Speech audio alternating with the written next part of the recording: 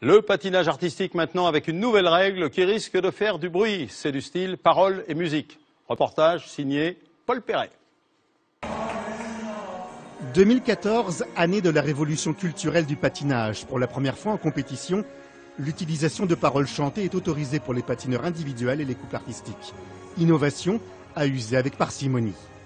Il faut qu'on fasse des programmes qui ressemblent à des programmes de compétition et non pas à des exhibitions. Et donc ça, ça va être euh, le point difficile un petit peu. Cette innovation nécessite des ajustements, notamment pour ceux qui jugent les épreuves. On a tendance à penser beaucoup euh, aux médias et donc euh, il faut, euh, il faut sans arrêt trouver le juste milieu entre ce sport qui est très télégénique mais qui est un sport avant tout. Il y a un temps pour tout, il y a ce sport et puis il y a le gala après. Cette saison est donc celle des réglages. Il y a peu de chances que tous les patineurs utilisent cette nouvelle possibilité qu'offre le règlement. En France, chez les hommes, les deux meilleurs ont décidé de patiner avec des chansons. Il faut que ça soit fait bien entendu intelligemment, euh, parce que je pense qu'on va entendre de tout cette année. Mais euh, non, c'est bien, je pense que ça va développer le côté artiste des gens et, euh, donner un peu plus de spectacle aux gens.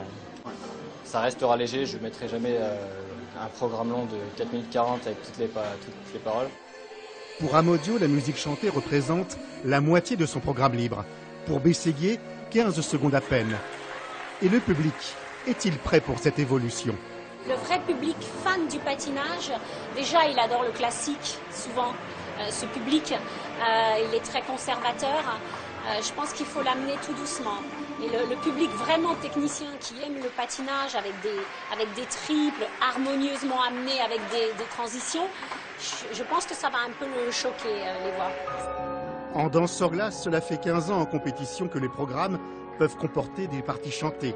Mais cette saison, les meilleurs Français, Gabriela Papadakis et Guillaume Cizeron, patinent sur du Mozart, sans voix additionnelle. Excellente soirée sur la 3. On se retrouve demain, un peu après 20h. Salut, merci.